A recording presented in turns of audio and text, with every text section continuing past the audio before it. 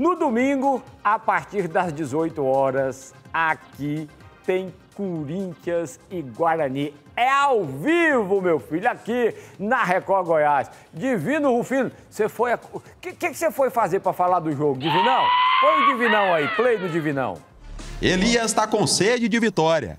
E o coração do paulista, que mora há 20 anos em Goiânia, está dizendo: no duelo Corinthians versus Guarani, vai dar bugre. Eu acho que nós vamos atropelar o Corinthians, né? Vamos, contratamos vários, várias apostas e eu espero que essas, essas apostas né, deem certo e a gente vamos ganhar 2 a 0 lá contra o Corinthians. O supervisor de produção espera que neste ano o Guarani levante, pela primeira vez na história, a taça do Paulistão, para ele reviver a mesma emoção que sentiu em 1978, quando viu o Bugre ser campeão brasileiro. Eu tinha 11 anos na época, estava com meu falecido pai, né, Bugrino Roxo, Bugrino Roxo. Então, para mim, é uma emoção indescritível que eu passo para meu filho, para minha neta, até hoje.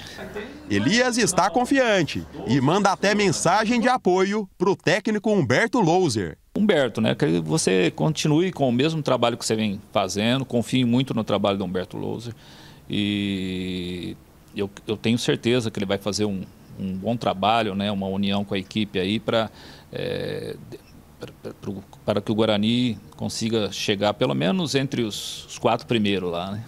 O grupo Bugrinos do Centro-Oeste no Zap, que conta com 17 participantes, já foi convocado. Aí pessoal, Bugrinos aqui do Centro-Oeste, Elias Júnior passando aqui para lembrá-los né, que domingo tem Guarani, a partir das 18 horas na Record. Todo mundo aí, hein?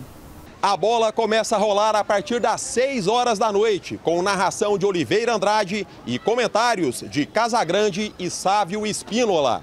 A goianada vai estar grudada na tela da TV e do celular. E nós viemos às ruas para saber como está a expectativa do povão. Quem que você acha que vence essa? Guarani, lógico. Corinthians.